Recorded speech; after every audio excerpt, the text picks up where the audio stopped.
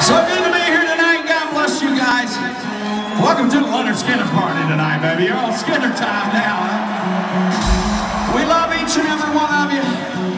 We're here making memories tonight. You guys all in or what? You all in or what, huh? Sounds like you worked all day long, and I hope you did. But